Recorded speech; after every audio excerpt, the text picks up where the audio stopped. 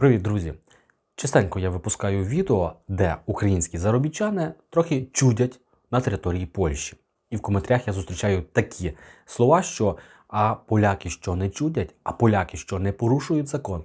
А чому ти про них не розказуєш?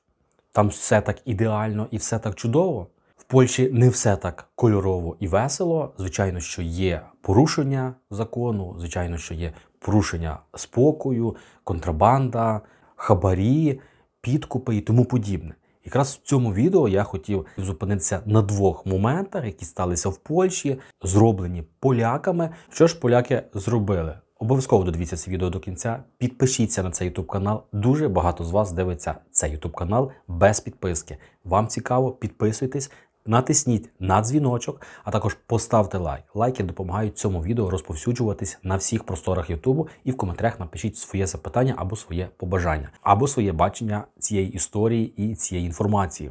А також в описі під відео я рекомендую телеграм-групу актуально про Польщу, де ми спілкуємося на польську тематику. Отже, перша інформація, перша історія. У Польщі поліція затримала п'ятьох жінок віком від 21 року до 56 років, підозрюваних у продажі фальсифікованих сертифікатів про щеплення на корону.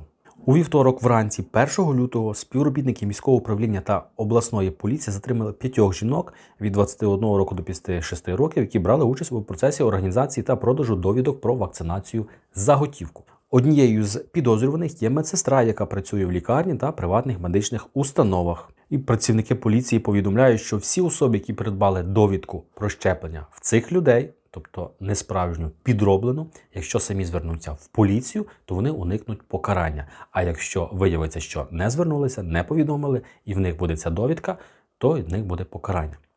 Отже, бачимо, ситуація така, що люди організували собі свій бізнес в Польщі, поляки, не українці, як я говорив перед тим, а самі собі поляки організували, тобто захотіли заробити трохи бабла. Хто ж не хоче. Співпрацювали з медсестрою, яка працювала, мала доступ до всіх баз. Відповідно, виписували, вносили в бази і надавали людям такі послуги нелегально. Що їм грузить і що їм за це буде, це вже буде суд присуджувати.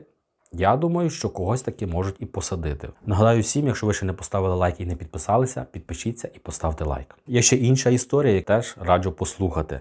За допомогою у розгляді справ працівниця прокуратури брала хабарі. Обвинувачуваний акт вже направлено до суду.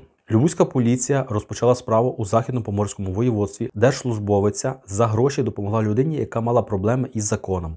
Справа закінчиться в суді. Жінка отримала фінансову винагороду у вигляді 36 тисяч злотих. Тепер за скоєне на лаві підсудних судитимуть обидвох. Їм загрожує 8 років позбавлення волі. 41-річна жінка, яка працювала у секретаріаті однієї з прокуратури Західно-Поморського району, познайомила 46-річним чоловіком, який мав проблеми із законом. Він хотів використати це знайомство для закриття проти нього кримінального провадження.